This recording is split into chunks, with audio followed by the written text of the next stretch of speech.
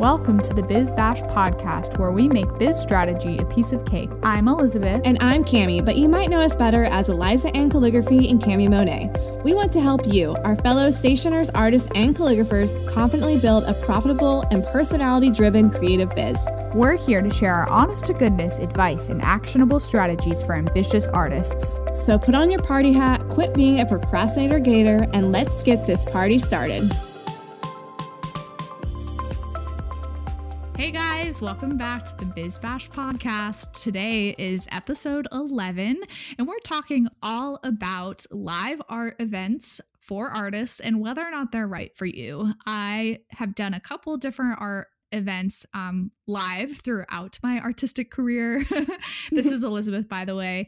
And it's been an interesting journey for me um, because my thoughts on them have changed over time for sure. But lately, I've actually really enjoyed them. And I get DMs and questions all the time when I'm out doing these events on how to even. Uh, do a live art event or how do I get approached for one? Who provides the materials? All sorts of questions. So we're going to be getting started on that topic in uh, just a little bit. But first, Cami is going to read a review for us. Okay, so today's review comes from Rhiannon Hare. I hope I said that right. And her review says, Thank you. Cami and Elizabeth are such generous creatives. Their online resources and now this podcast have been so helpful as I dive into the world of stationery design. I appreciate their realness and how they offer information and insights in an approachable way. A rising tide lifts all boats. Preach, sister. We are so excited. we We're totally so excited. Yes, totally agree about the rising tide lifting all boats. I mean, not just for Rising Tide Society, but we really do love helping out other creatives, and we're really glad we get to do this with you guys in the podcast. So, um, and it's just so much easier to answer these types of questions that we get in our DMs over here on the podcast. So, yes. Um, yeah. So Elizabeth has done a lot of different live live events where a brand is asking for a calligrapher to basically come into the store, do some personalization. I've been approached to do this as well. I pretty much always say no. so we're going to talk about the different um, ways you can be approached, what the event actually looks like when you get there, because if you haven't done one, you might be nervous about you know what actually happens and how much to um, charge and how you get paid. So, so Elizabeth, yeah. tell us about some of the brands that you've done live events for and where you've done them. Yeah, I've done them uh, a few different times in the past year. They're by no means what my business is built upon. Um, you guys probably know by now, I kind of have two pillars of my business services. So, invitations and envelope calligraphy and Biz Birthday Bash. But the one other thing that I will occasionally do is a live art event if it's the right environment and something I'm interested in. So that's the key thing first that if anyone ever reaches out to you, you got to think to yourself, is this something I actually want to do? Because right. for me, yeah, for me, it's changed over time. Like when I first went full time with my business, I was like, I have no desire to leave the house, to do this, to talk to people I don't know. And I was just in such a different frame of mind in fall of 2016 when we went full time um, and just didn't understand how it fit into my business. And I knew that wasn't what I wanted to do. So I think I made the right decision at first, actually, like not taking them, because once something becomes a habit in your business, then it becomes harder to cut out. Uh, yeah, so, exactly. uh, yeah, so I did do one like really early on for Heartgard. Actually, that's like the pet medicine. I don't know. I was about have- to say, is this like a pet thing? Because I'm so confused right now. yes, so Heartgard is a pet medicine for dogs. Um, I honestly can't tell you exactly what it does, but I had a connection with the planner that ran this corporate event. I think through Rising Tide Society, mm. actually through the Atlanta meetup, um, way back in the day, and she had reached out to me and was like do you want to letter gosh, ceramic coasters or marble coasters for this event. Yeah, I think that's what it was, uh, with people's names on them. So it was actually me, one of my best friends here who is a calligrapher. She doesn't live here anymore, but she did at the time. And then another local calligrapher as well, maybe like 40 minutes outside Atlanta. And so the three of us got paid to like sit at this table and write people's names on these coasters all day for, well, I guess it was like two hours straight of this. And for this live art event, there was no stop time. It was like once we started writing names, we were not done writing names until the event was over, which actually isn't how all live art events are. um, so that was my very first one. And I think I got paid. I think all of us got paid $100 an hour for that. So we each made $200, uh, yeah. Uh, which a corporate company has more than enough funds usually for their events to be able to pay people pretty well. So don't be charging people like $25 an hour for live art. Uh, you should be valuing yourself higher than that. But that was kind of my first experience. Um, was there anything I left out? um, no, I, I, don't think so. Um, let's talk about. Well, I did a live event as well, similar to this, where I just did names. Um, this wasn't for a brand though. I think I talked about this in an earlier episode, but I was really nervous about doing it, and it was for a. Well, I guess it was a brand. It was for Orange Blossom Bride, which is a local magazine here for wedding um, vendors, and um, and for brides. And I was set up at the door and as people would come in i would write their name in calligraphy and had my stuff all set up all cute you know with invitations. So it was kind of like a networking thing for me as well. But originally she had asked me to do um, art prints five by seven art prints with any phrase that someone wanted to write and i just did not feel comfortable writing you know a five by seven piece of paper. Like it could it, there could be right. so many words that go on that. So i was like let's just do names and name tags which worked out really well. So i really enjoyed that and it really fit within like the type of events I would do and what I offer because I was able to control like the t- like the style of things. Like it was just me writing names the way I do them um, with with brush calligraphy on watercolor paper. Um, and the reason I've said no to other brands that have asked me to do these types of live events and the types of live events we're talking about, you guys, are like when you see you'll see other people on Instagram who are like, oh, I'm at you know I don't know. I can't even think of a brand right now. Tommy Nordstrom. I'm in Nordstrom today, and I'm doing calligraphy. And you're like, how in the heck? They must be so famous. And honestly, like these stores are like desperately looking for calligraphers. Like they have no idea where to look. So that's the type of events we're talking about. So I've literally turned down. I turned down Tommy Hilfiger twice. Burberry. I, feel like I'm not saying that right. Um, they wanted. No, in- that's right. Burberry. Burberry. Oh, such a weird brand name. Anyway, so I've turned them down twice. I've turned them down twice as well. And Neiman Marcus, I think I turned them down. And then a couple of different open houses for planners. And I normally turn them down as be- as um because I think they want pointed pen calligraphy and it's not something I offer. Like watercolor is not going to work on leather really, or you know, hand lettering style, and that's just not necessarily me. So I always am recommending and referring other calligraphers in the area. So I always see they end up going, and it's fantastic, and I don't have to do it, and it's great. So um, yeah, they have a hard time finding calligraphers. let's talk about how you got found and how other people can get found if they want to do these types of live art events. Yeah, for sure. I mean, you're right. These corporate companies are looking for this a lot because they do promotional events, especially around like Valentine's Day, Mother's Day, Father's Day. They're trying yeah. to get people in the Any store holiday, to- Christmas. Oh my gosh, yes. yeah, they're definitely looking for people. So I did uh, at Christmas time, like a couple weeks uh, before Christmas this past year, 2018, a five hour event for Neiman Marcus. They paid me 150 an hour, guys. And so that $750 was some great extra like Christmas pocket money, essentially. yeah. um, and so that was like, I made that decision to do that event at that time of year on a Saturday. Um, it wasn't during the week because I the payoff was enough for me and I enjoyed it. They actually like fed me too. It was awesome. They were having That's a great. buffet that day for the employees and they were so nice. They were like, go in the back and get some food. Like we'll we'll sit at the table while while you go eat. I was like, this is awesome. but anyways, these companies have found me because of my website and because of my SEO because I think they're going and searching Atlanta calligrapher, Atlanta calligraphy, Atlanta lettering, something along those lines. Like they're definitely not searching live event artists. I don't think yes. they would even know to call it that. they're using like the most basic terms possible to find people and then if they start with someone like Cami, she then refers other people. So I've been referred for events before too for like similar reasons of I don't think this would be a good fit, but would you be interested in doing it? Um, so it's either kind of that word of mouth or mostly a website. So just making sure that you have keywords on your website that'll let you people find you based on location. That's super key um, because yes, they're they, always searching based on city.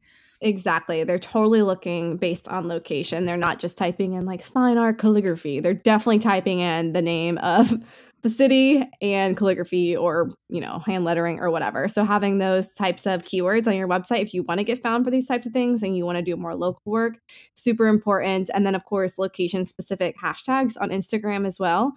So tagging hashtag Orlando calligrapher or hashtag Atlanta calligrapher or whatever your city is is going to be super helpful too. I think Instagram is becoming even more of a search tool um, with those types of hashtags. So definitely utilizing that as well if you're trying to get found. And of course, you guys, you can always reach out yourselves. Like if you see these brands that are doing these kinds of things with other um, artists, maybe you find the one in your city and say, hey, I am a calligrapher. If you're looking for something for a live event, I would love to be considered here's more details about my style, blah, blah, blah.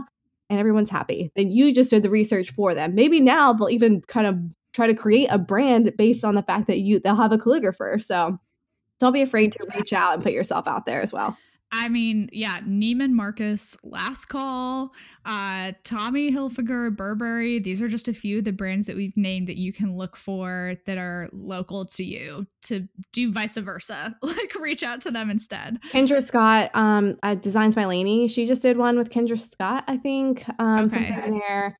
And then I know West Elm does a lot of local calligraphy. Like they're very big on promoting local people. I actually reached out to West Elm and they told me no. And I'm like, what the heck? You guys have my friends there. Like you have my other friends who are calligraphers there. Why don't? Why can't I come?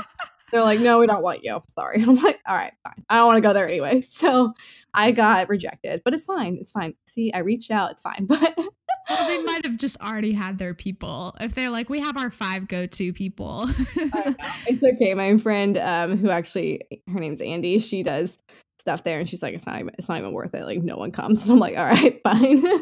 Yes. Oh my gosh. That's the perfect segue that we should talk about next okay. like expectations versus reality for what a live art event looks like because yes. guys you gotta have a backbone for the fact that this can be super awkward because sometimes you are literally just sitting at a table by yourself in the middle of the store and everyone's walking past you and you're not doing anything.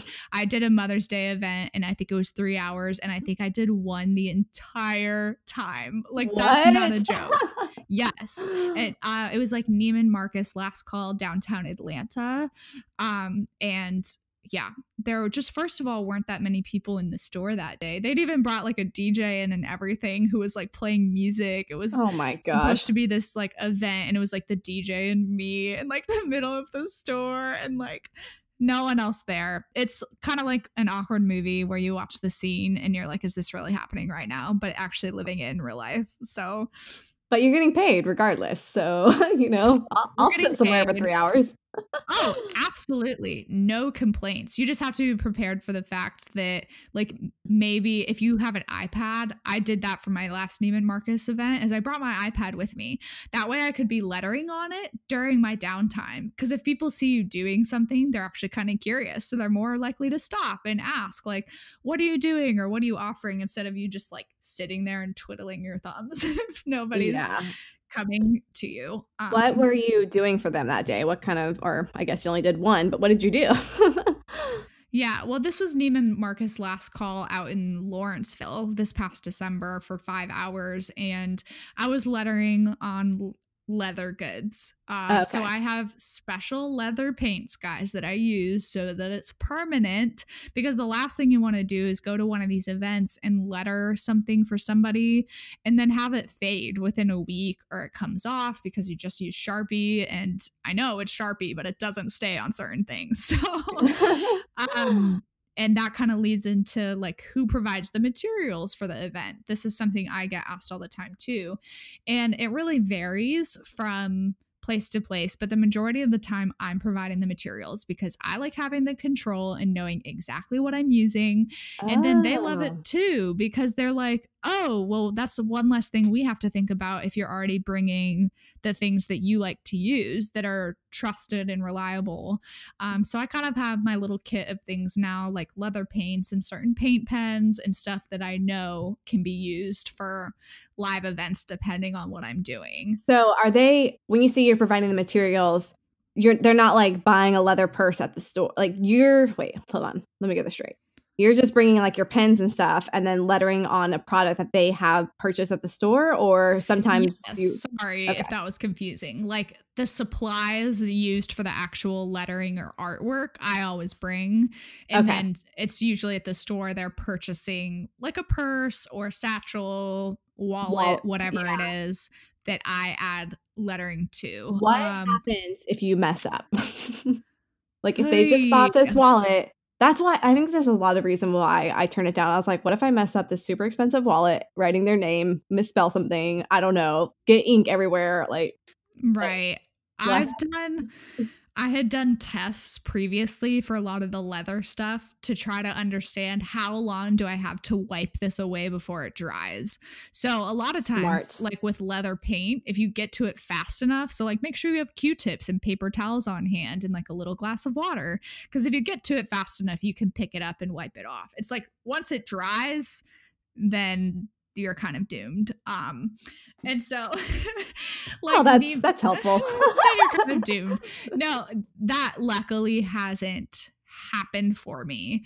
Um, except there was, I will say, there was one lady when she wrote down what she wanted, she didn't write it clearly. So I like misread it as something else. And it just so happened that it still worked out okay because it was like an initial of her name or she didn't like care. Um, but Neiman Marcus would print out slips that they made. They're in charge of this that asks the customer, What's your name? What's your phone number? What do you want written?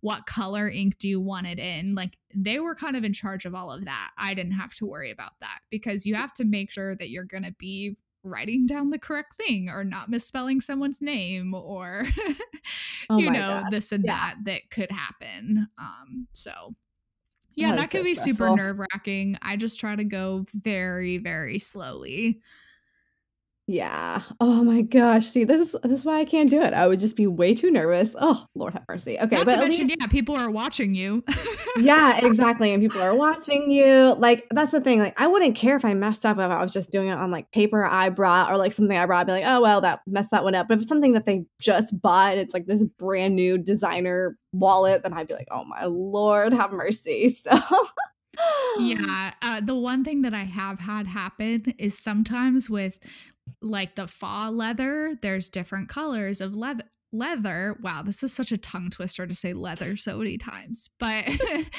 you can't always predict how a certain color will dry on a certain color leather so this one guy brought forward this kind of like almost purple gray wallet he had purchased and he Mhm. wanted it was either rose gold or copper. I think it was like the dark copper ink.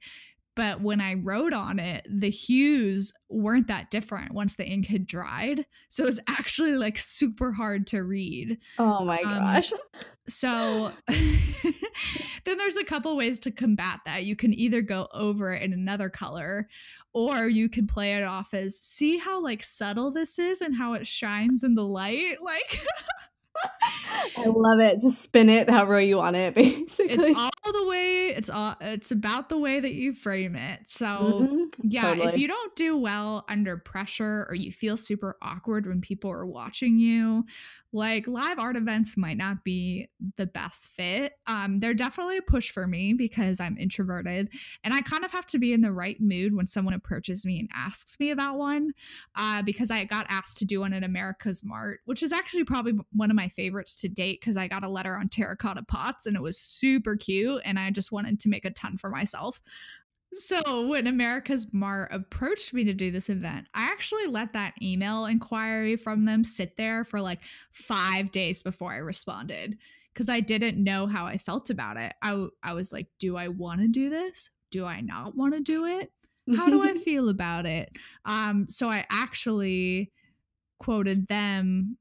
I think it was 200 an hour. I think it was even a little higher because I was like at that point where I couldn't make up a could not make up my mind. So I was Yeah. like, well, if I get paid a little bit of extra, win win. So see that sometimes that extra money is the difference between the yes and the no. I think we've talked about that in our why no is the best word ever. And if it's something you're like, well, I kind of would do it, but maybe the price point just isn't there, charge a little more because why not? If they're willing to pay for it, then it makes it way more worth your time. Yeah, if they're willing to pay for it and just be prepared that there's actually normally a lot of back and forth negotiation for stuff like this, not on prices, just figuring out actual details for the event, figuring out when you need to be there. Do you need to be there 30 minutes early, which I make them pay me for that time, guys? Like if I have to show up 30 minutes prior to the event, like they're going to be paying me for the time that I'm there. Setting yeah. up or doing whatever it is, most of the time sitting awkwardly in a corner waiting till I actually start. Um, are they um are they set do they have the setup ready for you when you get there in your experience or has it been you're bringing a table and all that other crap because I would want to be paid more for that too because I hate dragging in all my stuff. Every event I've done, they have had a table ready for me, which is great. And they normally have a cute little sign on it. It depends on how organized the business is and who's running it and all of that. Um, the one thing was that when I showed up at AmericasMart, uh, this was during like a huge like home goods wholesale weekend that I had no idea existed. so it's like AmericasMart is already crazy as it is. It's like four huge buildings in Atlanta with multiple floors, multiple showrooms. So, first of all, I was like trying to figure out where to even go and all this stuff. And I get upstairs and I get to the table. And it's a table that's like in the corner and it has the tablecloth on it but then the terracotta pots like hadn't been unpacked in any sort of manner. I had to do that myself, which I was kind of like grumpily doing because I was like, this is not my job and why I was here yeah. to like unwrap these. but they were just like running around. And then I was kind of like, there wasn't a chair. And so I kind of said to the girl, and I probably said it more cutting than I meant to, but it came out and I was like, I'm going to need a chair. Like, I can't let her standing.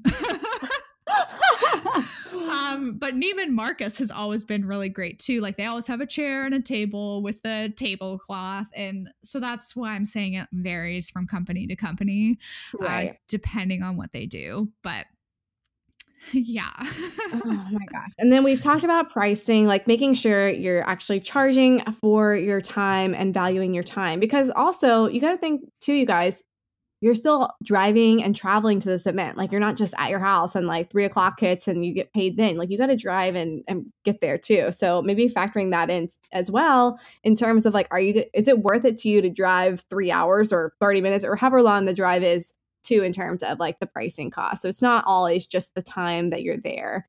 Um, so you're pricing per if you're thinking per hour of like actually being outside the house versus you know from start to finish, you might want to factor that in as well. Absolutely. I actually, if the place is like a certain amount of mileage outside of my studio or farther than my studio, then I charge an extra travel fee because I'm like, mm-hmm. this is going to be taking longer. It's the same thing if you hire a photographer for a wedding and they're out of state, you're going to pay for them to get there. It's the yeah, same exactly. concept. Um, and you deserve to be paid for that time that you're taking to get there. So I actually forgot to account for this for my Lawrenceville event, which I drove like 45 minutes to an hour to in like pouring rain. Uh, that was fun. And I was like, how did I? I just like didn't realize how far Lawrenceville, Georgia is actually from Marietta. I thought it was a lot easier to get there. So just like double yeah. check on a GPS, guys. It would have taken me two seconds to figure that out. I know. Um, See, I literally hate Orlando traffic, and all these events are at this like super crowded mall, and I'm always like, oh no. if, it's, if it's not within a five mile radius, I'm not going. If you have speed bumps at your apartment, I'm not going. Like yeah. I have very strict rules of leaving. I'm just kidding, guys. I'll come to your birthday party if, even if you have speed bumps at your apartment, but still. yeah. And well, for um, downtown Atlanta ones, like I always tack on a parking fee too, because I know I'm gonna have to park for pay for a parking garage.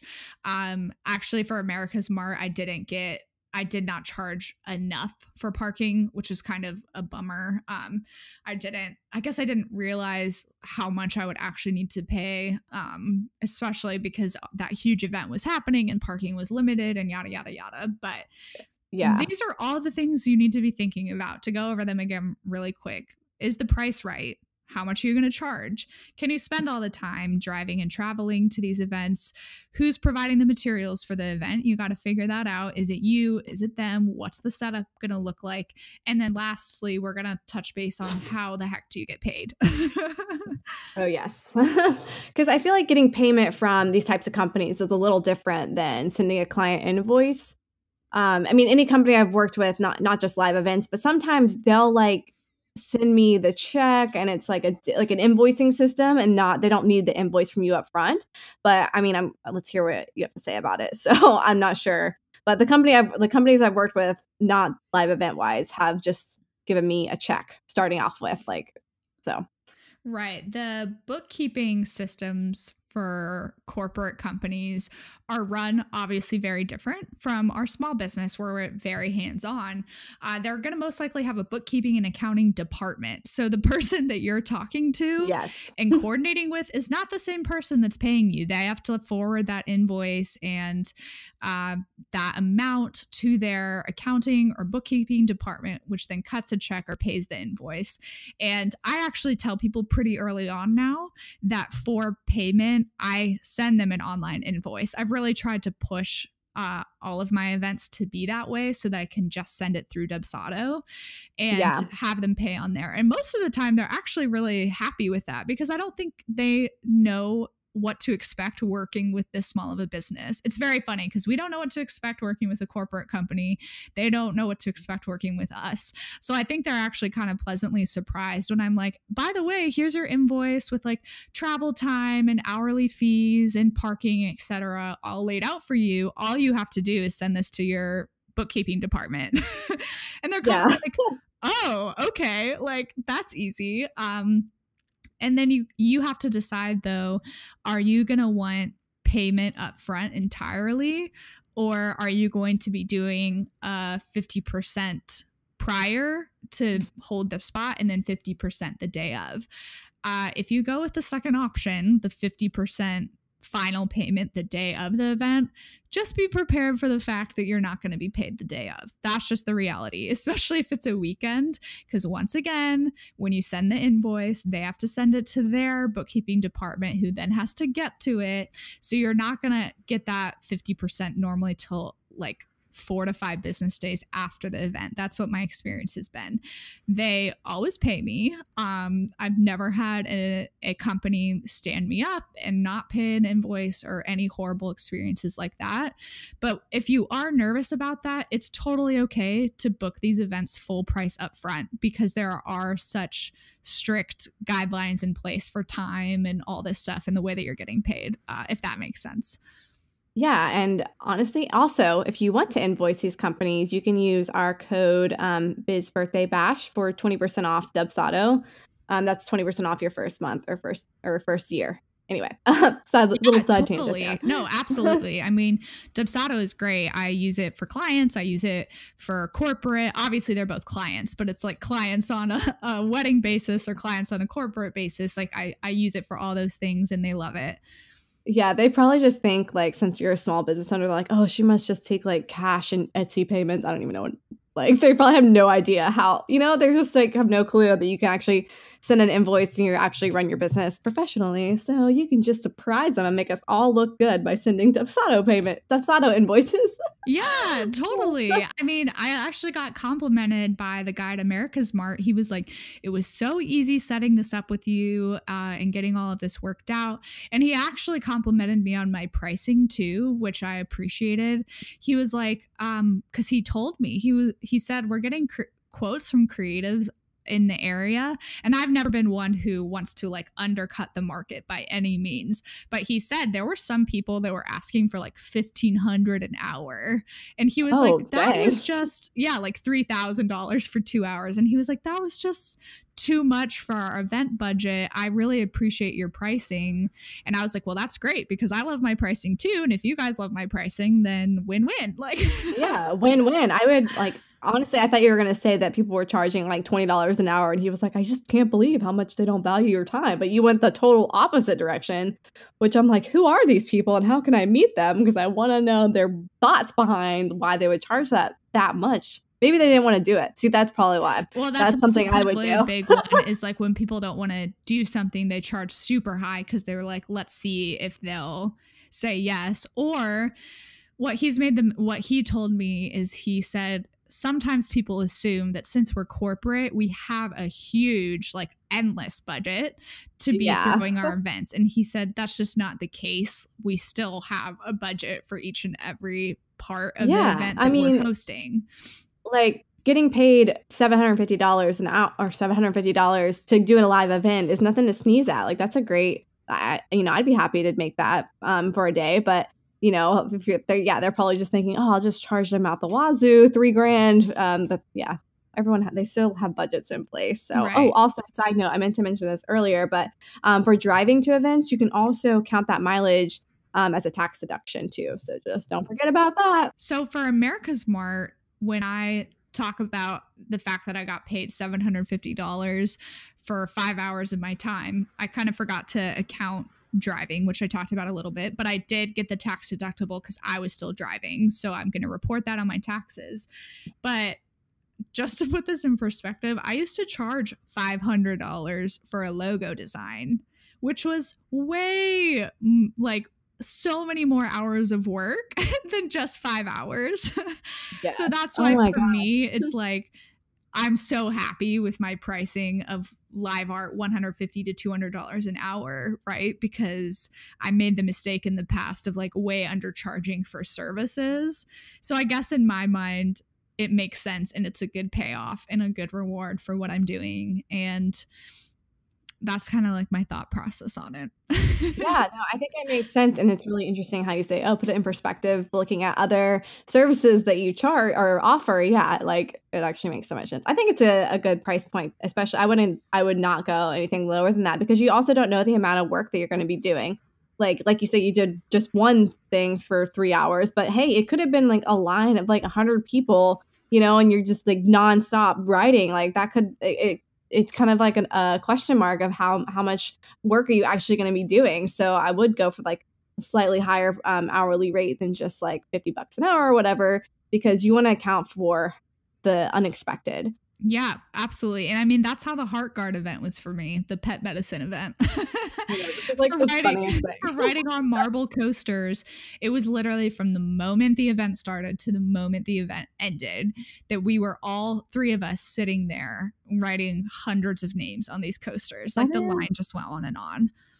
the oddest story I've ever heard. like I just it's just such a weird Heartgard doing calligraphy. I don't know. It just Isn't like, it? It reminds me of uh, Tangled when he's using the frying pan and he's like, "This is the strangest thing I've ever done." it's like literally how I felt during that event. I was like, "This is so oh weird," and these people are so Yeah. excited about getting their name on their marble coaster. okay. Serious question though. Where are their dogs there? That's all I care about. their dogs were not there because these were the What the heck? companies that worked for or the employees that worked for the company. So it wasn't Oh. for the customers, it was for the actual like corporate Boo. business. Boo. Yeah. oh my gosh. Yeah, but I mean, that's kind of what I have to say in pitching about live art events. I think I covered everything. Um, kind of covered why she turns them down, why they're not a good fit for her. But like we always say in almost every episode, you got to evaluate whether or not it's the right fit for you, whether or not it's something you want to do. It's different for everybody. hmm Yes. And if you have any more questions for us, you can always ask them at bizbirthdaybash.com slash Q and cake. Um, the letter Q, the word and, and cake. Um, we do episodes where we answer FAQs from you guys every It's five, five weeks. We kept saying Every- six weeks, but it's five.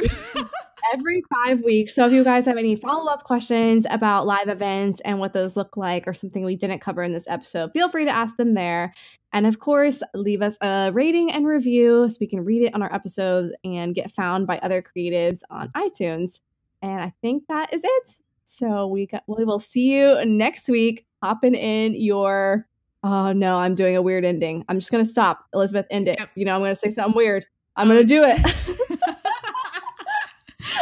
we will see you guys for our episode next week. Thank you so much for tuning in. Bye. Oh my god. Okay. No, hold on. We're gonna cut that. we need to redo that. That was way too awkward. Oh god. Um, okay. uh, do you do you want to go back in? Why don't you start I with think I- the? Do you want me to do leave a rating and review? What did I say? I said I always get this way right before lunch. Um, Q and cake. Was that part okay?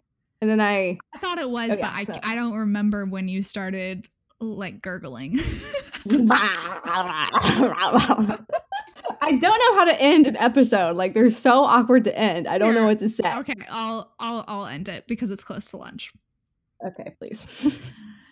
All right, guys, we loved having you tune in for this episode about live art events. If you have any more questions about live art events or just questions in general for us that you would like to have answered, we actually do episodes called Q and Cake, and these happen every five weeks. So we have four normal topic discussion episodes and then an episode of Q and Cake where we answer about four questions. If you want to ask us something, go to bizbirthdaybash.com slash Q and cake. So the letter Q, the word and, and the word cake. Pretty straightforward. And you can leave us your question there.